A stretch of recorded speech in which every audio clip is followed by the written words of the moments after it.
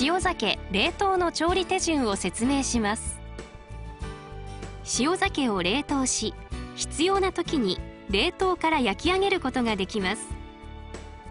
一度に焼ける分量は2から4切れです。材料を用意します。材料は4切れ分です。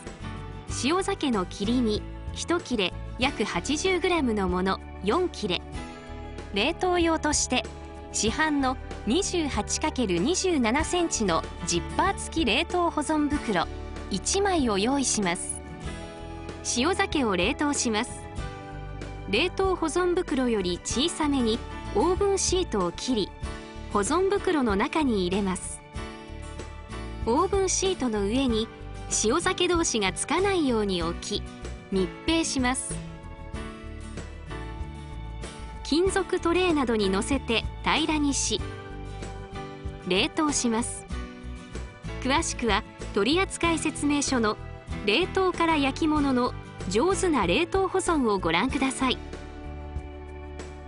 冷凍保存した塩鮭を焼くときは足を閉じ上段用フラップを開けたグリル皿を用意します。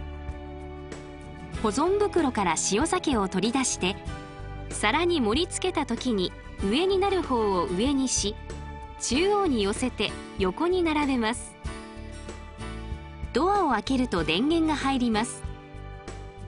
塩鮭を乗せたグリル皿を加熱室の上段に入れドアを閉めます。料理集からボタンをタッチし調理分類ボタンを選び焼き物の冷凍から焼き物を選び塩鮭冷凍を選びます。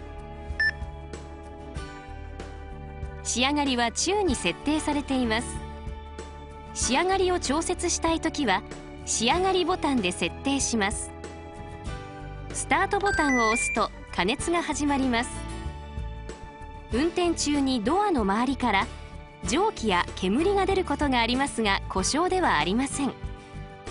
匂いが気になるときは換気扇を回してください。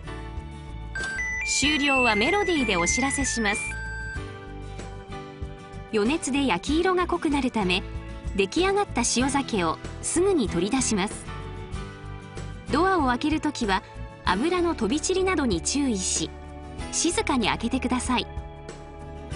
焼きが足りない場合は追加加熱ボタンで時間を設定し様子を見ながら加熱します。操作の手順は取扱説明書をご覧ください。